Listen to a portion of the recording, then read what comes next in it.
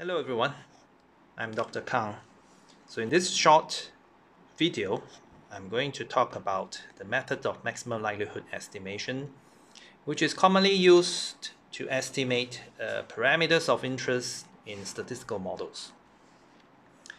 Okay, so just to give you a, a simple idea about this method. So suppose we have the following random variables that are drawn from a particular probability distribution with the following um, density function, pro probability density function, or it could be a pro probability mass function, right? Depending on whether x, the random variable x is continuous or discrete, all right?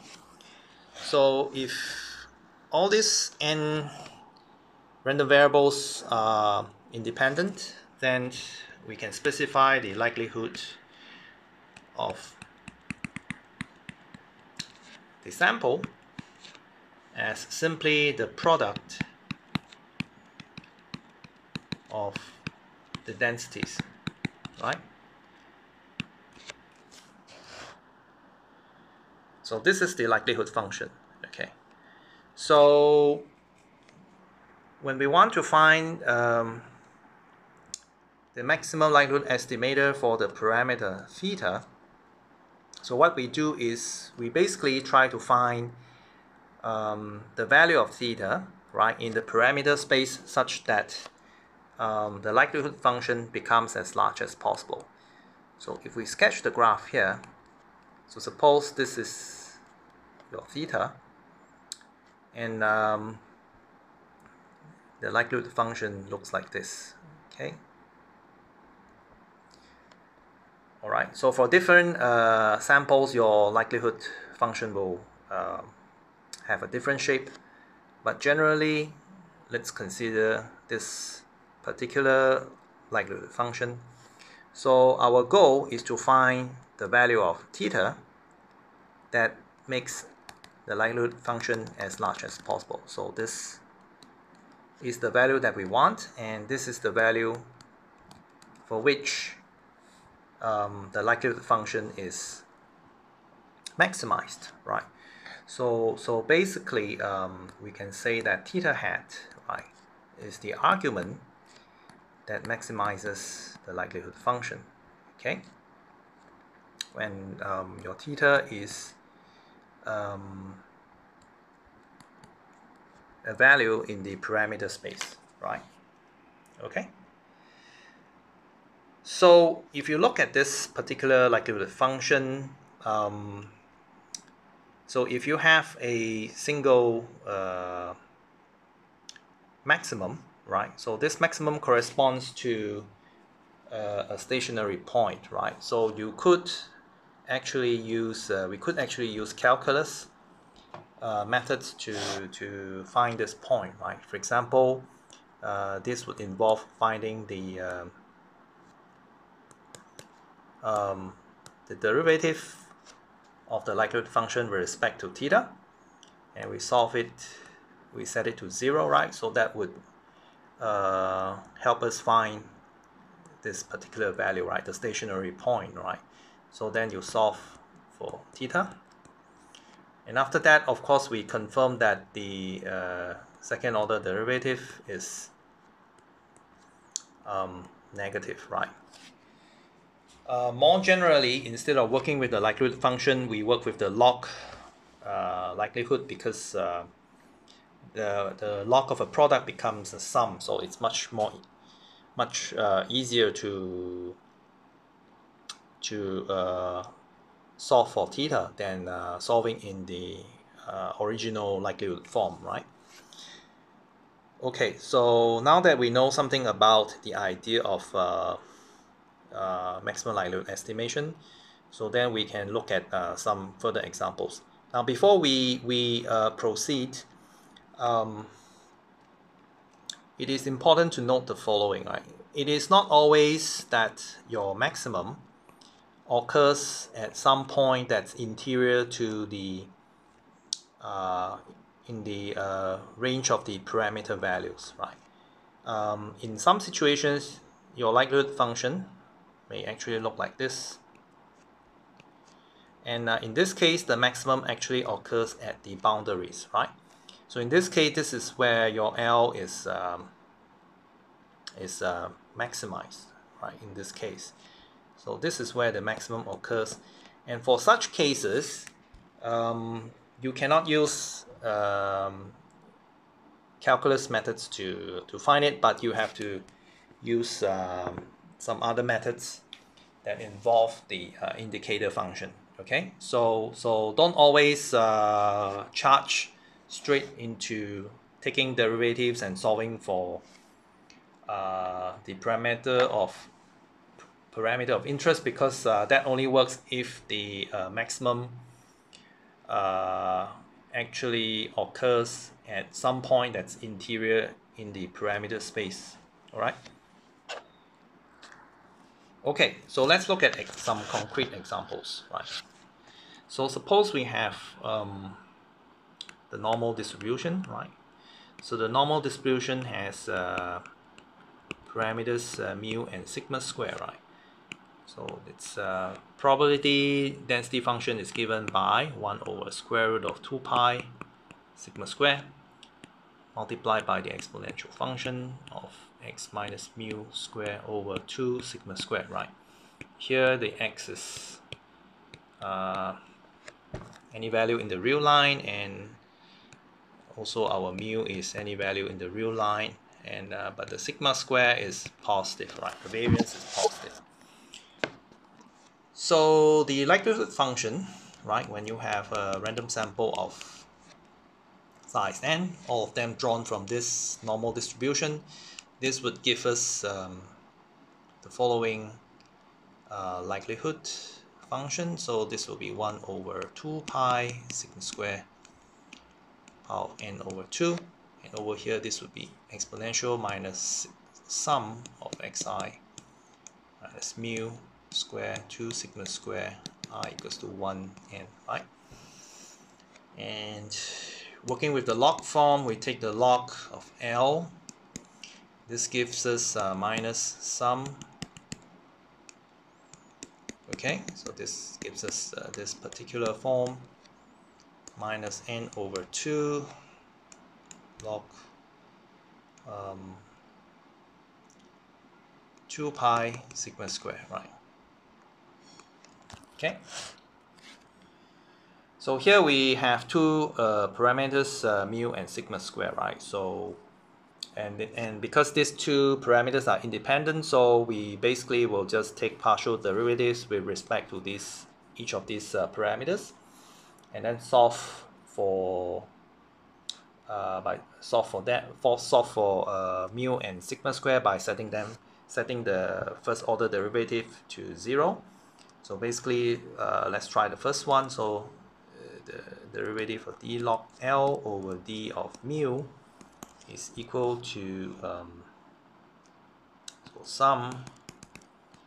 So this gives us a xi minus mu. So the two comes down cancels the minus. You take the derivative cancel with the minus. So you get this. We set it to zero. And uh, this implies that my mu um, is equal to um, sum of xi over n right? So so I would set my maximum likelihood estimator for mu as the sample mean which makes sense right? And now um, let's move on to the next part which is uh, trying to find the uh, maximum likelihood estimator for the variance so I'm going to erase this part so of course you can check that the second order derivative is actually uh, uh, negative to make sure that uh, uh, the sample mean is the maximum likelihood estimator for, for mu. So to proceed, so we have d log L over d sigma square, right? So that would give us um, minus, so sigma. Okay so this would give us uh, 2 sigma power 4 and here the uh, the minus would uh, disappear. So we have positive. So over here we basically have uh, minus n over 2 sigma square right and we set this to 0 right? So to make it easy so we set it to 0 and uh, basically we multiply with uh, sigma square here so we have sigma power 4 right? So basically uh, the denominator is the same so this uh, disappears when you multiply both sides by 2 sigma power 4 so we end up having sigma square equals to sum of xi minus uh, mu square over n, right? But uh, so the maximum likelihood estimator for the uh, population variance, sigma square hat, will be equal to this thing, and you have to replace the mu with the uh, maximum likelihood estimator form, right? So basically you have the sum of xi minus x bar squared over n, right? So, so this is uh, the uh, average, this is exactly the average of the sum of squared deviations, right? Um, generally, um, um, the, the so if you remember, okay, so the sample variance, uh, the sample variance is given by this form, right, the, where the denominator is uh, n minus 1. So this is the unbiased uh, estimator for sigma square, but um, the maximum likelihood estimator for sigma square is actually slightly different. Instead of dividing by n minus 1, it's divided by n, so it has a, a slight bias, but um, it's okay, right? Uh, as n becomes um, quite large, then um, basically uh, both estimators lead to the same, uh, almost the same value, right? Okay, so now we know that uh, um, for the case of the normal model, so we have um, mu hat equals to x bar and uh, sigma square hat equals to summation xi x bar squared over n. So these are the maximum likelihood uh, estimators for mu and sigma square when the model is a uh, uh, normal model, okay? Now I'm going to talk about uh, some other kinds of, uh, so, so for this kind of uh, distributions, we know that the, um, the support of the uh, distribution does not depend on the parameter, right? Like for example, your fx just now for the normal model, um, the support actually uh, is any value in the real line, and this this does not depend on on mu or sigma square. Okay. Now there is a class uh, of uh, models where the support actually depends on the um, parameter of interest, right? So can you give an example? All right. So you probably know about this. So the simplest example is the uniform uh, distribution, right? So if you have a uniform distribution over an interval, let's say from 0 to theta. So this is a very simple um, model, right? So you have, uh, so this is my fx is equal to 1 over theta, right?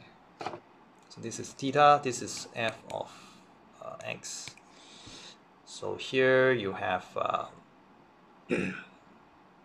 so so sorry this is uh, this should be x here okay so it stops at theta and therefore the height here is 1 over theta, right? So that the area of this rectangle is equal to 1. Uh, generally, um, you might recall that it's uh, we might just write it like this, like elsewhere. So this one is the x is uh, between theta and uh, 0, right? Now, I want to introduce to you a, a very important uh, representation of um,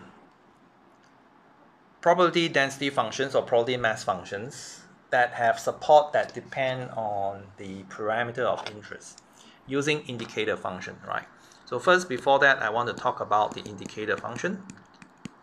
So the indicator function uh, is basically a, a, very simple function.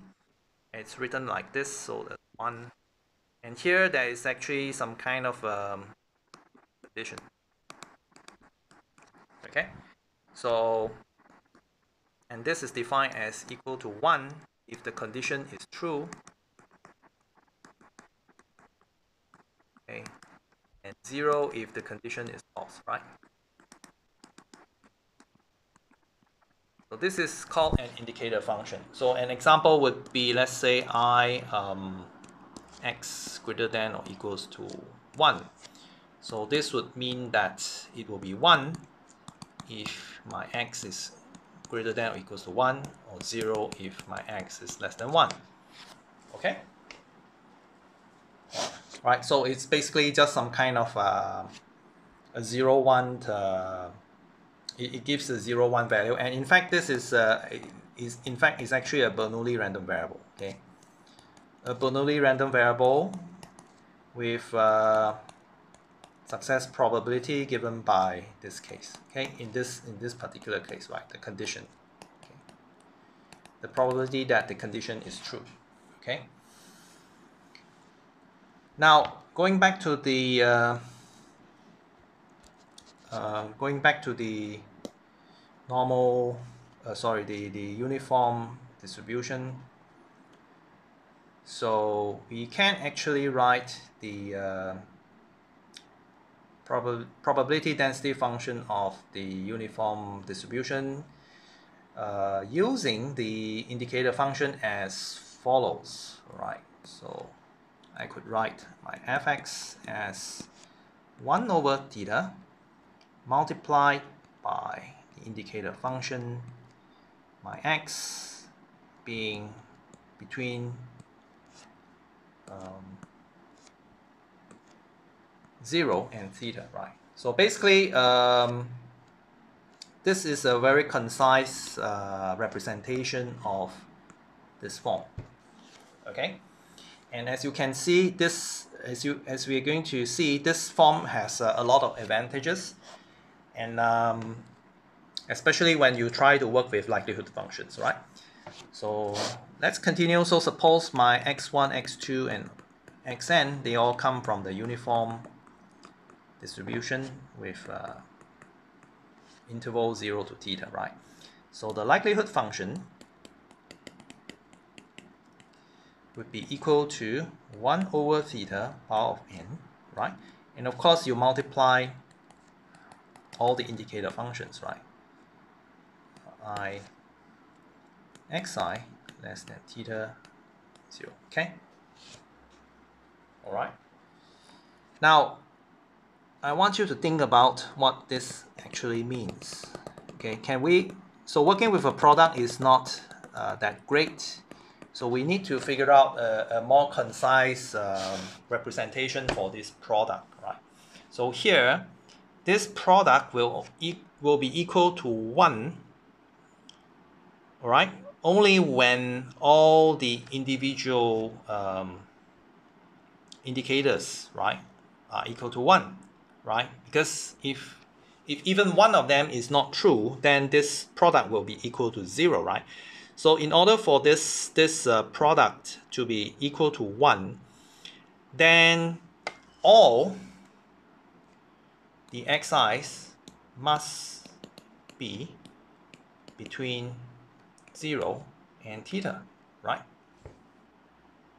Okay, so we want all of them? They must be between 0 and theta. And what does this mean actually? Okay, so here we want our likelihood function to be equal to this.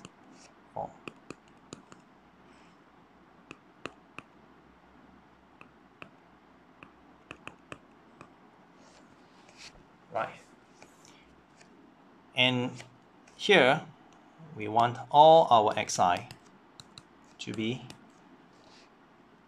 between 0 uh, between 0 and to be between 0 and theta right? Now I claim that this is simply requiring that the maximum of my xi's right. To be below theta all right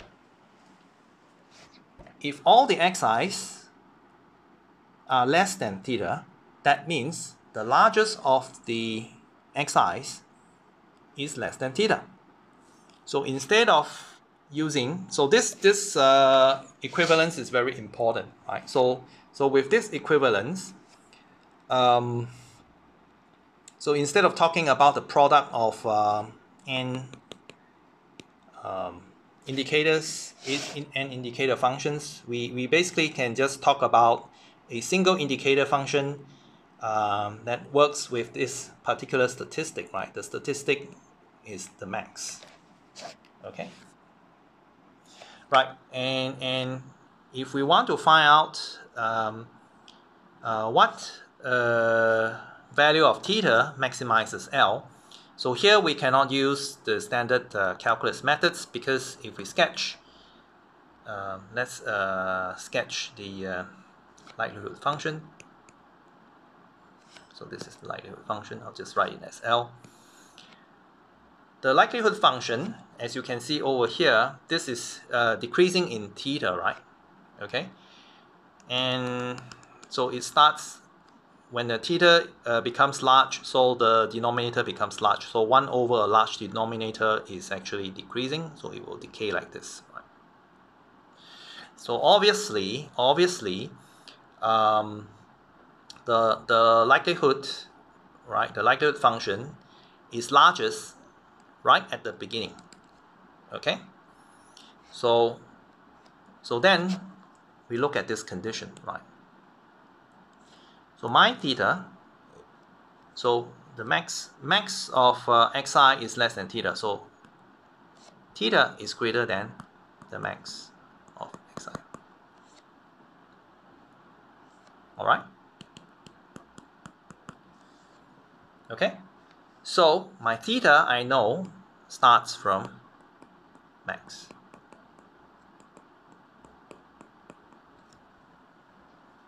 Okay, so this actually means that my maximum, the value that maximizes my likelihood function is um, uh, theta hat, right? So, so here my theta hat is max of xi. Okay, and this is equal to the MLE of theta. Okay.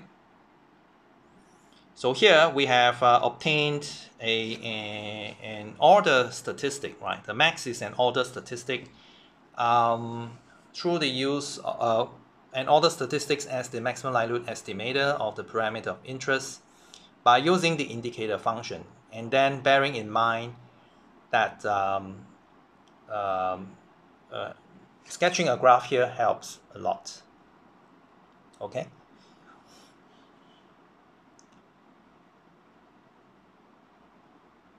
All right. Okay. So this is the uh, maximum likelihood estimator for um, theta, all right, of a uniform distribution. Um, so this is actually not uh, uh, mysterious at all because uh, if you consider the common sense, right? In the common sense, with some common sense. So this is your theta and this is, uh, this is your fx. So this is the probability density function, right? Now, when you collect samples, right, so your x1, x2, so this may be your x1, this may be your x2, and so on, x3, and, and so on, right? If you want to use this uh, set of uh, values that's drawn from this uniform distribution to estimate your theta, of course, you would take the value that is closest to theta, right? The value that's closest to theta would be a good estimator for theta, all right? And um, the value that is closest to it, of course, will be the maximum among the set of observations that you have here, okay? Now, of course, there are other uh, possible estimators of um, theta, and uh, some of these may be uh, based on the mean, right? Because uh, the mean uh, of the uniform distribution is theta over 2 and we can estimate the theta over 2 as uh, the sample mean, right? The sample mean would, would be sitting in the middle. So I could use uh, theta hat equals to 2 x bar um, as an estimator of theta hat. But uh, later as you will study, you will find that um, for uh, each model has something called a sufficient statistic um, and uh, for the case of a uniform distribution, the sufficient statistic for theta is the max of the xi's, okay? The sample mean is not a sufficient statistic, right? And uh, there are some deficiencies with using statistics that are not uh, sufficient statistics as estimators, okay? Right, to close this uh, so to close this video, so I'm going to uh, look at one more example. So this example involves the truncated exponential distribution, right? Truncated exponential distribution. So which basically has this form uh, e of minus x minus uh, theta. All right where my um, x is uh, larger than theta. Okay? So and of course my theta is a positive uh, it's a positive constant. So basically the the distribution looks like this so starting from uh, theta. So you basically will have uh, so one is here and then you start to decay right? Okay so this is kind of like a shifted exponential right? So uh, when your x is less than zero so it's actually um, so it's defined like this right? So zero elsewhere okay now if we want to find the maximum likelihood estimator for theta so we will use the technique of writing it in terms of the indicator function. So the indicator function here would be my x has to be larger than theta, right? Okay, so this is the indicator function, right? So if we consider the likelihood function for NIID uh, observations that are obtained from the truncated exponential distribution, then we simply have the following. This i equals to 1n so this is again a product right of um, indicators i from 1 to n right. Now as as usual we want to uh, instead of working with the product of indicators we will try to figure out uh, a single indicator function um, that can summarize, right, the information in this product. So let's think about this. So this product will only be equal to 1 if all the xi's are greater than or equals uh, greater than theta, right? So all of them, all the xi must be larger than theta, right? So what does that mean? Okay, so if you think of the values that you can draw from this distribution, so you can draw the values that are like this, right? So all the values that you get will fall like this, okay? And all of them have to be larger than theta. This means that the smallest among them, the minimum, must be larger than theta, right? If all of them are larger than theta, then the smallest among them must be larger than theta, right? So instead of this product, we can have this representation. So this is indicator minimum of xi uh, greater than theta. All right. So this is our likelihood function. So let's write this again. So E minus summation xi minus theta i minimum of xi greater than theta, right?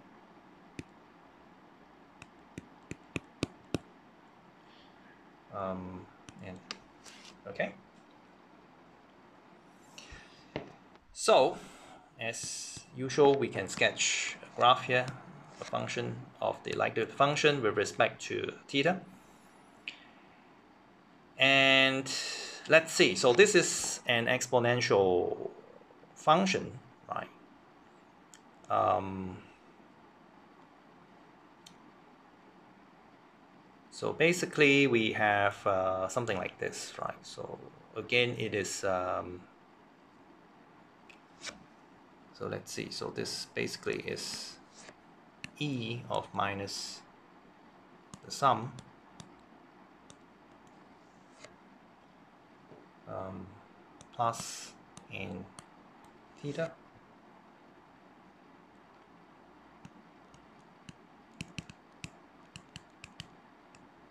okay, greater than theta, right?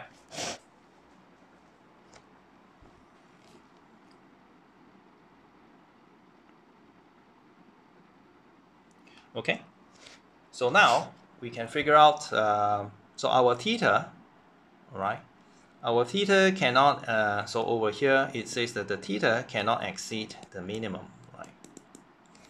So that means there is a boundary here okay. For which the um, function will become zero right if it exceeds okay? So now let's consider right if if our theta is um, is uh, very close right to the minimum okay? So basically uh, so over here so this term is basically a a constant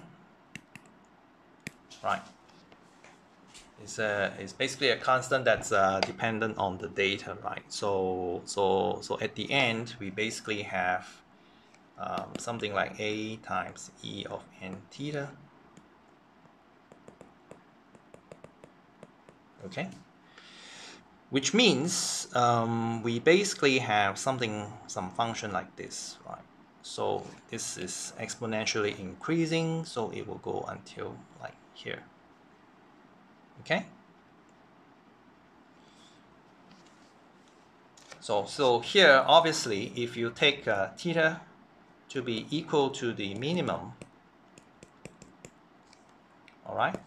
So then your likelihood function is maximized, right? Because it's uh, monotone increasing, okay? So therefore, my maximum likelihood estimator for theta is the minimum, right? The smallest value among the xi's. Okay, and this makes perfect sense because if we go back to the truncated uh, density, truncated the exponential probability density function. So if we collect samples, right? So our random variables may be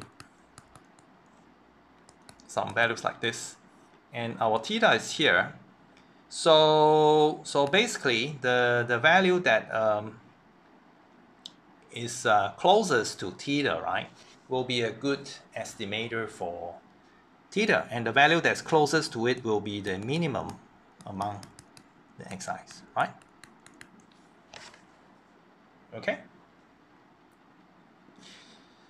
So I hope this uh, in this short uh, uh, video we have developed good ideas about how to find maximum likelihood estimators in the case when uh, our uh, probability uh, density function or probability mass function has a support that does not depend on the uh, parameters. So in that case, it's just a straightforward uh, application of uh, calculus methods, right?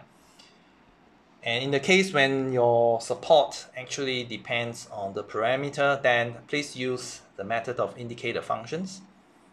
All right, and um, and usually in such cases, your uh, maximum likelihood estimators uh, will involve um, the order statistics like the maximum or the minimum. Okay, and uh, remember to help uh, to help you understand these things by sketching graphs, right? So the graphs are very important and they will help you understand why uh, the result that you obtain in such cases is reasonable. Okay, so that's all for this uh, short uh, video. Thanks for listening.